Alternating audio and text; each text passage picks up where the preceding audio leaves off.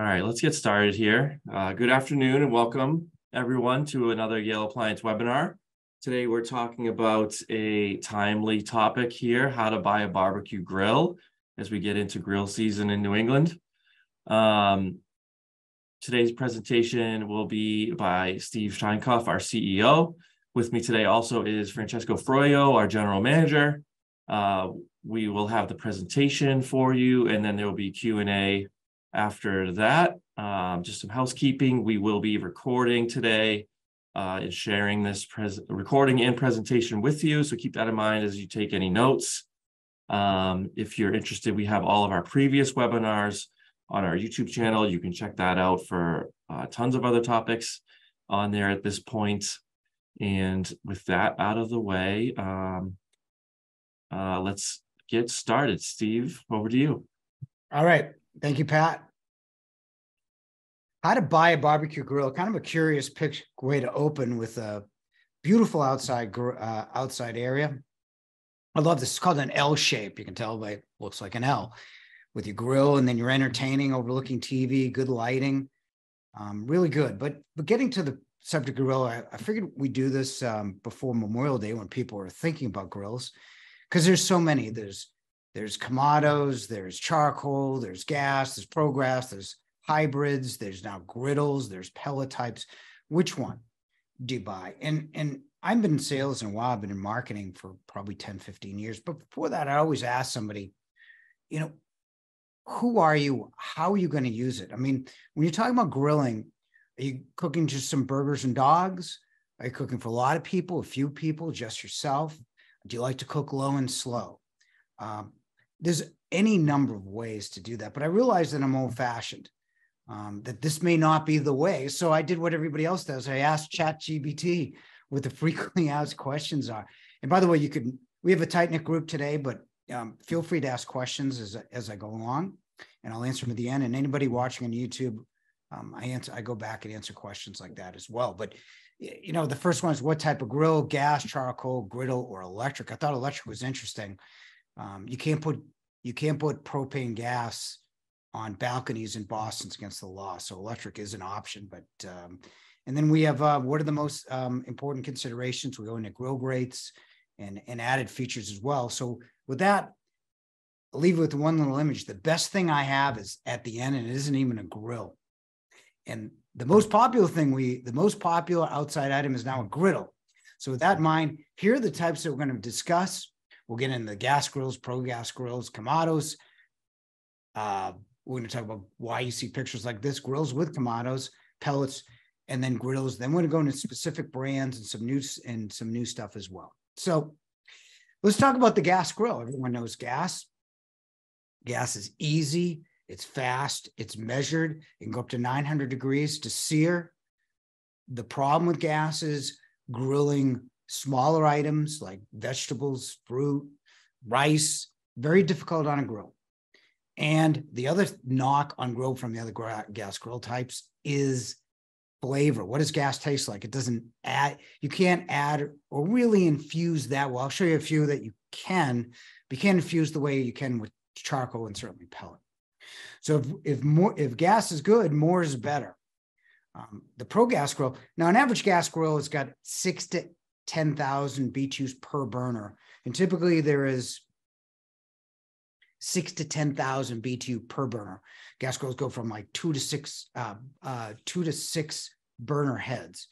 When you're talking about a pro gas, we're going from six to 10, from six to 10,000 to 23 to 25,000. So you're cooking very fast. You get better rotisseries, you get better sear elements, better construction. On the right hand side, you get the best grow uh, manufacturer. That's a hybrid grow. We'll get into that in a second. Then you have Kamado and charcoal. Charcoal is gives you the flavor and texture that gas cannot, and the added temperature. The problem with charcoal is you got to load it right. Um, there's more to actual cleaning with the ash as well. And then on the left hand side, you have the Kamado, which is a charcoal. That's a Kamados came back from uh, Japan after World War II um, when we when when GIs were stationed over there. And you can do anything on a Kamado. You can bake, you can make pizza, but the learning curve on a Kamado is is unlike anything else. You know, gas, you put the meat down, anybody can be a griller. but it takes time to learn the Kamado systems. I'm going to show you uh, a Kamado that's a little bit easier at the end. You know, the the the Kamados that are most popular, certainly Kamado Joe and the and the Big Green Egg are the are the most popular you see um, throughout. That's why you see grills with Kamados is Kamados is the more intricate type of cooking, whereas the speed, the easy, the the fast grill types, you see a lot of this when you go to house or when you're trying to design your own um, outside grilling center. And from there, we go to a newer type, but this is pellet. Now, the great thing about pellet, pellets, they call themselves a grill, but they really aren't. This is an electric, outside electric convection oven powered by pellets. The great thing about pellets is um, if you want to think of any flavor, whether it's like, say, let's say pecan chipotle. You're not that you'd put those together, but you can get pecan pellets. You put uh, you can get chipotle pellets. Put it in the hopper, um, and and and it infuses that flavor with the with the electric convection system that's that's on a pellet. It's great to infuse, but you're not getting near to 900, so you're not grilling. So if you want to grill a few hot dogs or something, um, you're not going to do it quickly in a pellet. But if you want to smoke something, it's it's way better in a pellet than it is on any type of grill. So then we have the griddle. I love grills. Uh, I always tell the story that the old Yale was on Canal Street, right across from a luncheonette. And this guy made everything in a griddle. You can make anything. He made omelets, hamburgers, hot dogs, hash browns, all at once on a griddle. But to give you an idea, we had, you know, one of our uh, appreciation lunches uh, for the staff that works in Stoughton and Deeg uh, made everything from rice, uh, chicken bowls, enchiladas, everything was on the griddle.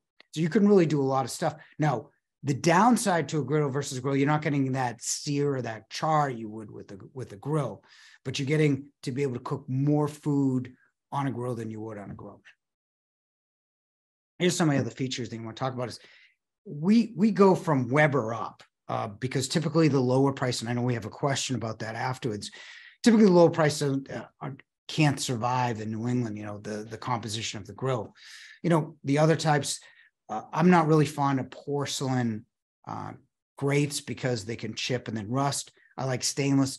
The preferred, the most preferred is is the diamond cut, which is the thicker stainless you get with the Hestan grill. We'll, we'll talk about that. And Obviously, grills can go anywhere from 28,000 on a smaller Weber to 150,000 on some of your larger prototypes. Then we talk about searing. A gas grill does a nice job of searing, but you understand that any gas type, whether you're talking about your gas stove or a gas uh, burner, uh, diffuses heat.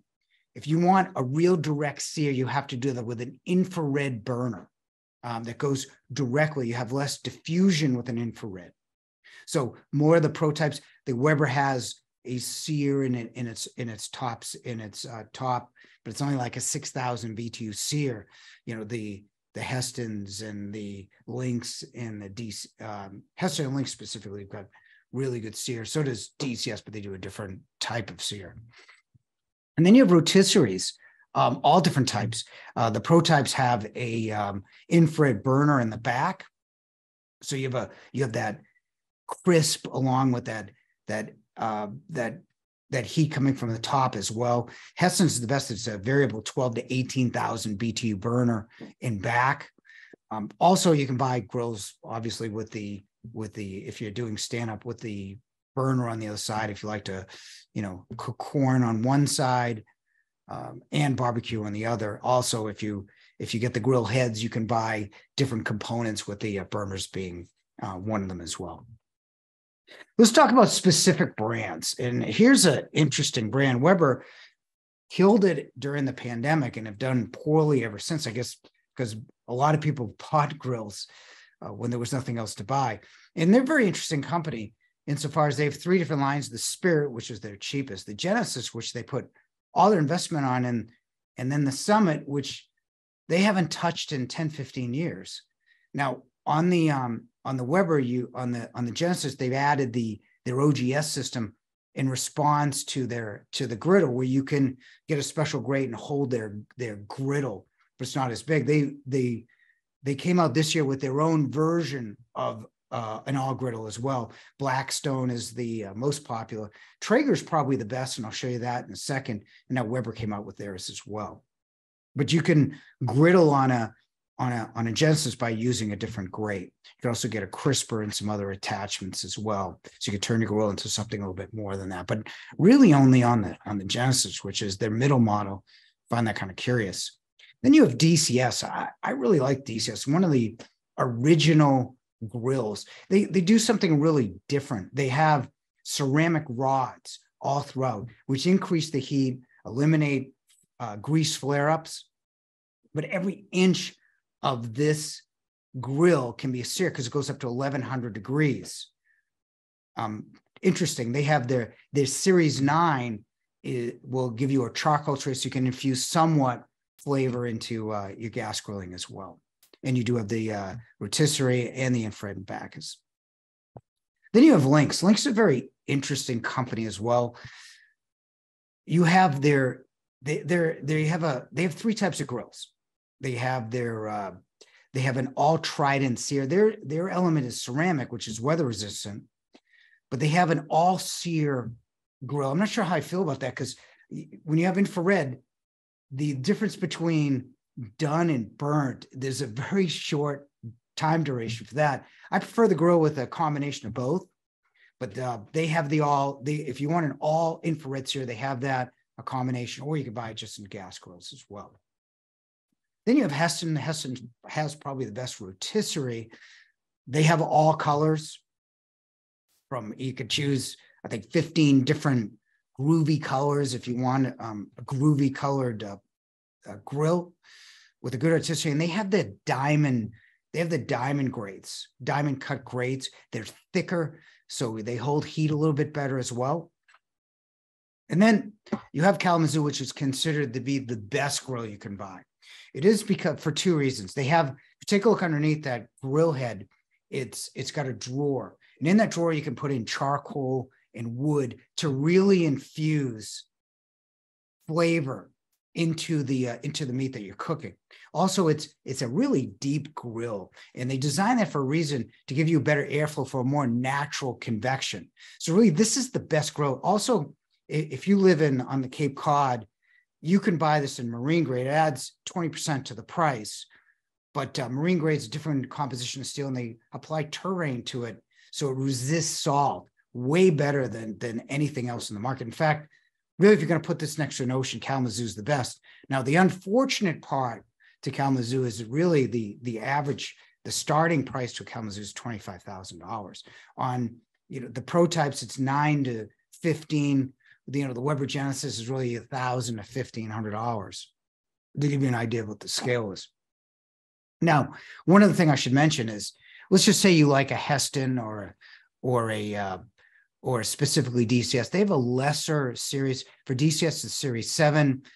Lynx has their Sino, uh, Sedona series. Hestan's got their Spire. I like the Spire and the DCS better because they're made very similarly. The, the Lynx they farm out to China.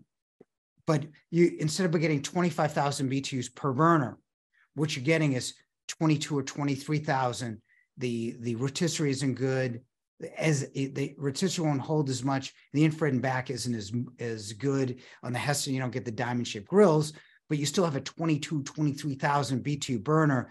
Instead of spending nine to 15, you're spending seven to nine instead. So you're saving some money there, get just a little less power, little less features for, you know, 20% less money. Traeger's got a, a Traeger has a new, a new Timberline where they add an induction burner to the side. So you can so you can cook lobster something really bigger with the induction power. Induction's magnetic heat which is an instant power and it's a uh, uh, instant simmer as well. Timberline's a little thicker holds more. The, the problem with um, with with these type of grills or really any grills when you open it the heat the heat gets uh, the heat's emitted you got to almost start over, which is tougher for an electric convection. With with uh, with Traeger, you have that smart, you have the smart functionality where you can see the temperature on the um, on, on on the interface of uh, of your phone. then you have the Kamados. This is the new smart Kamado, which which has this their smart series, which makes Kamado cooking uh, or uh, ceramic cooking a lot easier because um, you don't have to guess as much with charcoal um, on their uh, with their smart uh, with the smart Kamado Joe. Speaking of smart, Web uh, Lynx had the first smart gr- had they they had the first smart grill, which had an algorithm which was to test which where you could find out your uh, your medium rare. It would get it would be able to understand you in your medium rare and have that algorithm to do that. And it never it never they they never really launched it. They launched one. It's in our um, it's in our outside in Framingham, but Smart hasn't really taken off. Uh, Weber's really backed off theirs other than their iGrill. But the best smart function, the best smart, we've sold out of them. It's called the Meater for $99. It's a guided cooking, it's a guided cooking system on your phone that'll tell you, that'll walk you through every step. And their algorithm estimates how long you, you how long that salmon on the grill will take, or, or you can even use it in a stove. It estimates how long to cook and rest right? Because the food, when you take it out of the oven, it, it continues to cook. So this, so this algorithm actually accounts for that. So you can use this for an outside grill or, or inside your oven for $99. You know, gives you the step-by-step process, gives you the meat, and gives you the algorithm. This is probably the coolest thing I've seen, and it actually works. I've had mine on order. Everyone else has theirs in the store, I guess. So I'm going to go through the different kinds of configuration. We had that um, we we have the we have that webinar that we just did, but just figured just to if you're thinking an outside kitchen, you know, there's there's four different types. This being the L. Um, there's your basic island. It's just a bank. Basically, what you want to do is just figure out what the grill is and and and the attachments, and then just put it in an island. Um, the best piece of advice I have is figure out what the grill is. Start there because you always want to centralize your cooking and then work your way from there and then walk what you um, walk the actual configuration because you have the L shape, which is really popular, where you're cooking on one side of the L and entertaining on the other. On the U, you uh, you're you're cooking in the middle, and then you you entertain on either the front or the either side, and then you have the galley where you're cooking on one side and entertaining on the other. So take all that you're all the uh, you know the grills, the the the side burners, the sinks, faucets. Take it map it out and and that's how you design really an outside uh, an outside space we have that webinar that i would encourage you to look at at the end so next webinar is going to be we'll go back inside the house to how, how to start your kitchen project that's actually next month i wish everybody a nice memorial day and we have some good questions to answer thank you steve Yep, we have a lot, uh, few questions from the registration. Um, if there's questions that came up along the way here today that you have for us, please use the Q and A feature in the Zoom uh, to send them over to us. Uh, we can get started with some from the registration. Um, Steve and Fran, the first question, let's go. Um, we want a smoker and a better grill than we have. Is it a good idea to buy a combination grill smoker I guess the other option would be to buy them separately. I guess we want to talk through the pros and cons there. Um, yeah, you, you know, we carry like six or seven of the main brands, uh, Kalamazoo being the best and Weber. But there's like a whole legion of, uh, of, of especially smokers that, that you can buy. Really depends on again, I go back to the first question. It depends what you really want to do. Uh, if I was to advise, if you really want to smoke and really want to grill, you're better off buying two separate units because it just doesn't seem like when you talk about smoking, especially electric convection, which most of them are, or even gas convection, it just doesn't seem like you're getting those hot temperatures to really grill. I mean, you can get there eventually, but it's not really grilling. Um, so I, I would say two different two different uh, two different types is probably the best. And really, and if you if you had to say, well, which one would be best? It, it really depends. I mean, Kamados are really good if you want to learn because it can do some of both. But but smoking the the the that pellet infusion is really uh, people really like that. So again, really depends on what you want to do. If you're more grill, less smoke, or you want a good combination, then Kamado can do them both. But that that would be my advice, not really being able to ask you directly. Yeah, completely agree there. It's like, you know, Traeger's kind of one that eh, lets you do a little bit of both there. But like you said before, Steve, too, you're not, you know, if you're going to do majority of grilling, you're not really going to get those sear marks. And, you know, if you're doing hot dogs and hamburgers and things like that, the Traeger's probably not you know, the, the number one option there. So that's another one that can kind of give you a little bit of both. But to kind of get the best of both worlds, you, you're really looking at two separate units there. Thank you, guys. Uh, and Alyssa, Alyssa's actually with us in the chat here. So if, uh, if that answered your question, uh, or didn't answer your question, Alyssa, let us, let us know. Um, next up, we have, um, there's a question. I'm looking for the, the best barbecue product. So I guess, do you guys want to summarize, like if, what's, uh, at the, at the best type level, what, what's the difference, uh, between the best and, you know, better options? Well, you know, to me, I, I always there's two questions I, I, I hesitate to answer: is what is the best, and what do you buy? What what do you have in your backyard? And the reason is is because typically you don't cook like me. Uh, I would hope, and um, how do you cook? That said, to me, there's there's I, I think the industry, everybody in the industry will admit that Kalamazoo is the best because you really do not compromise with that because it's so deep, it cooks so thoroughly, and you add the you add the real infusion of wood and charcoal. It's the best. But not everybody wants to spend 25,000 plus 30% for marine grade. Uh, so with that in mind, of the three grills that that that we pick, the next best, which everyone would consider to be the best, if we're talking about gas, is I, I happen to like the DCS because you can do anything on that grill, really. Uh, I, with all due respect, I think Lynx is a great grill, and there's something to be said for ceramic. And there's something to be said for Hestan with the rotisserie and the colors. But I, I think for an everyday grill, that's that's a great grill. And in terms of in terms of um, Kamados, from what I, I've never worked with a big green egg. We used to sell it, and we had a we had a uh, a sales rep here that had a big green egg and likes Kamado Joe better because the cleanup is easier and it's easier to understand. It's easier to use. Um, with that, that would cover what I would think to be the best of every category. And I might transition to a question we had. Um, um, so how come you don't carry uh, Nexgrill or say Napoleon or like other brands that other stores carry?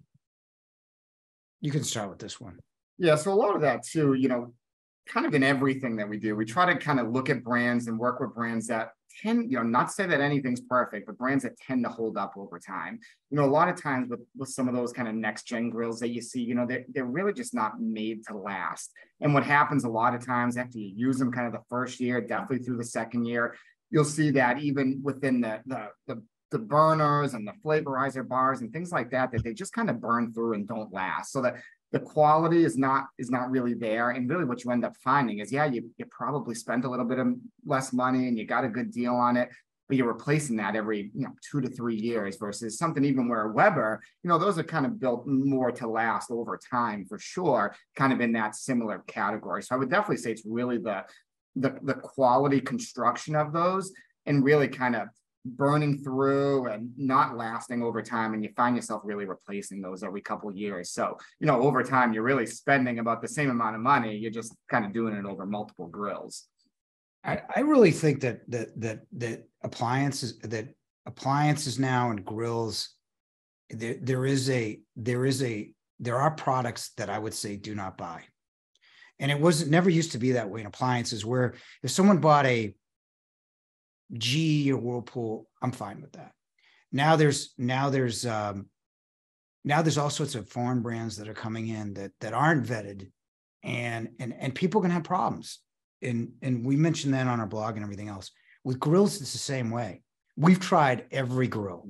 Yeah. We, we every year we say we got to have something. We got to we got to show somebody something different. Mhm. And every year it's like a disappointment. You know, either the grills are impossible to put together, or we had a we had a grill type where you know we tested it, and our chef put our put her hand in the middle of the grill while it was on, or at a part to illustrate it had a cold spot. I mean, that's like that's like a cardinal no-no. You shouldn't have like cold spots like that in the middle of a grill. And I really would caution because we seem to be in an industry that loves everything. And you read reviews and everybody hates everything because there's a disconnect. There's certain things that you just shouldn't buy. And there's certain grill types that you probably aren't best for the way you cook. And you're going to be very careful when you see an, a, much, a much uh, publicized, videoed grill and I can guarantee you that some of these unknown grills are just they're either going to fall apart or they're not going to cook. Even even with these pro BTUs that they put out there, they just don't work. And and, and you know, it seems like we try a grill type review. I think we just didn't do it this year. We resigned to the fact we haven't found one yet. Yeah, we've definitely tested just about everything out there. Every There's year, it's question. This is the one that's going to Yeah. be Weber, or this is the lower price, Yeah. two thousand dollar pro that'll work. Just never works for us. No. So let's, let's, uh, there's a question. I saw the induction on the grill, I think talking in the presentation, Steve. Do you see any, see any induction grills in the future? Well, I don't think you're going to see any induction anything in the future, only because there's a lithium shortage. Uh, the component uh, induction's in magnetic. What happens? It bypasses the glass, and the and it excites the metal in the food in the pan. Pan cooks the food. It's it's the best. It's the best way to cook. I don't think you're going to see induction grills because I don't think you're going to see much induction in the next few years because uh, the, the the I guess lithium goes into the burner somehow. And there's a wild worldwide shortage because every battery requires lithium. And now we're using batteries for our cars and everyone's scrambling to get to the next source of lithium. So i don't think you'll see it. I, I think i think it's got applications. I just don't think you're going to see it in the short term. Yeah, like side burners, like you see in the Traeger. But you know, other than that, you know, the thing, the nice thing with induction on like a side burner, just like you said, Steve, it's kind of directly transferring that heat to the pan. So, you know, when you have a gas side burner outdoors, you know, that really needs to be super powerful, more so than indoors, because you know, a lot of times you're trying to boil a pot of water for corn or something like that. But out outdoors, where you have the wind and the elements, that's taken, you know, a lot of those BTUs that's in there. I mean, that's really reducing it because it's outside again, something that you don't deal with indoors. So there, I could definitely see induction becoming a little bit more popular when the parts are available um, on those side burners for sure. That could definitely be somewhere where I see it. But as far as kind of full grills, things like that, yeah, I'm not so sure there. yeah i don't think you'll see it too bad too The question in the chat, we, um, is there any model of grill that you see being reliable year after year? Uh, like the Honda, Toyota, Jeep of grills. We want to make the right purchase once. Um, we are hamburger, steak, veggie grillers. Well, first of all, a lot of that has to do with with with people, right? You know, one thing um we had a video on how to clean a grill. We brought in one of one of my friends from camp is actually a professional griller. And he did a video on how to clean the grill. Now, what you need to do is if you want a grill to last, um, and I would encourage you to really look at the construction of every grill. I think I think you'll be okay with the Weber. You know, certainly with the um, certainly with any of the pros, you should be fine because all it is is really stainless steel and and and and really solid stainless or ceramic elements. That in mind, you got to clean it, right? And then you've got to put a cover on it. You clean it, put a cover on it. I- think you're going to be fine with with with a Weber. To be quite honest with you, further ashore, further further out to the bay, you're going to have a real problem. Um, salt air just kills it. Although I would say the Kalamazoo that we had on in in our in in Dorchester, and that's about as salty as you're going to get. Plus, you got all the exhaust. It's done pretty well.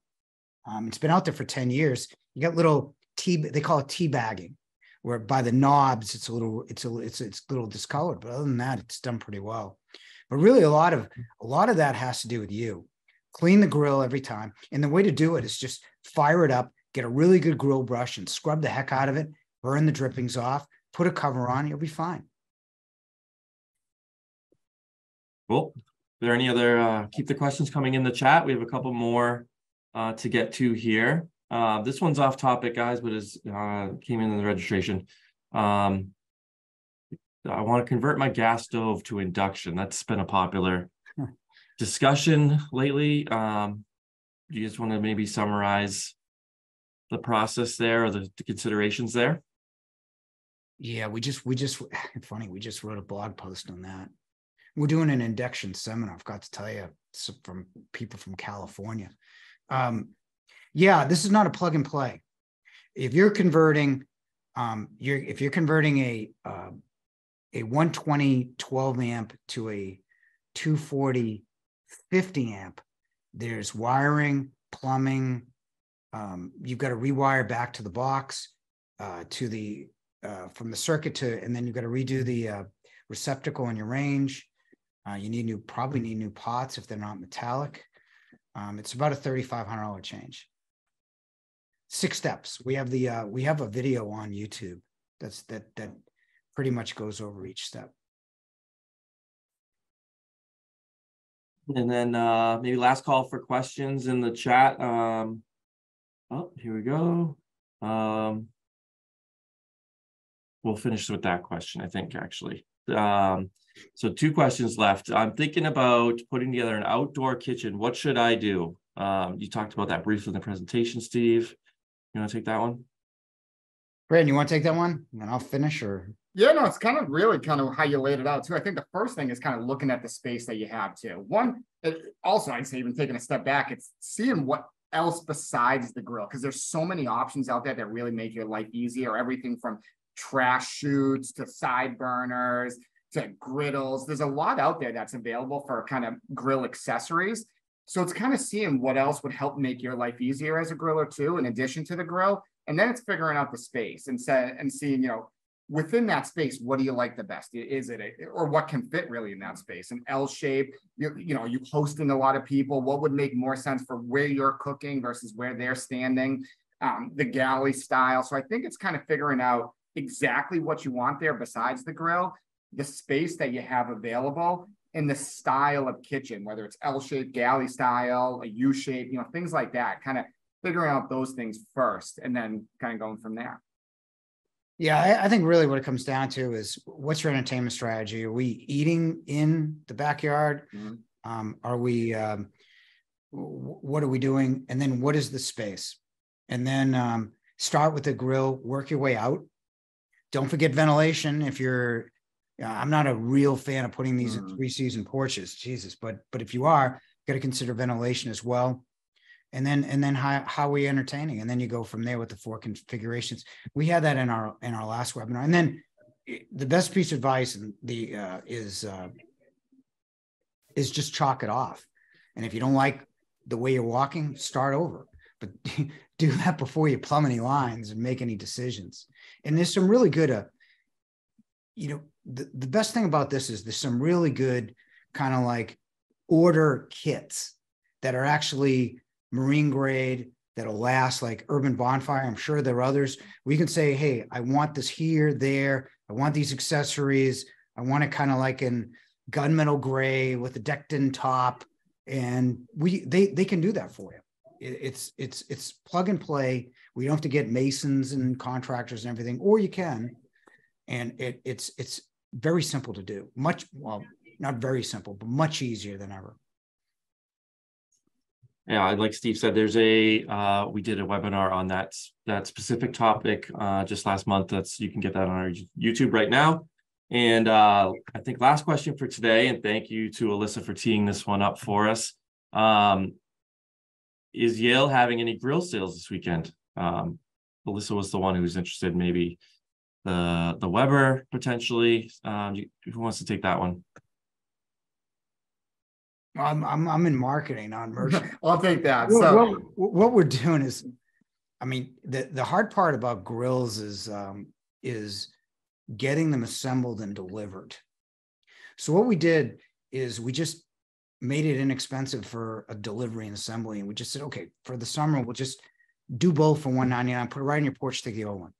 Um, that's about as much of a grill sale. That the problem is, is that um, last year there weren't any grills, and I'm not sure, um, because the, the, the pandemic just blew through everything. I'm not sure what the inventory looks like this year. I haven't really looked other than doing the, doing the, doing the marketing for it.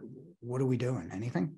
Yeah, there's definitely availability, and you know, there's kind of three grills that are some of the more popular ones that we stock with Weber, a three burner, a couple different three burner options, a four burner, and stainless steel, like you said, that really kind of helps to kind of last over time. And really, it's you know, like you said, the, toughest thing sometimes is getting them delivered and assembled where people want them. So we've done that for 199 delivery and assembly includes removal of your old grill. We'll take that away for you. Um, and that's kind of the promotions that we have going on right now too for for that delivery and assembly of the grills. Yeah, I think a lot of other people, when they can do it, and then we deliver within a two hour window with the call heads and all that other stuff. I I don't think anybody's, uh, has anybody, who else is doing it this year? Anybody or?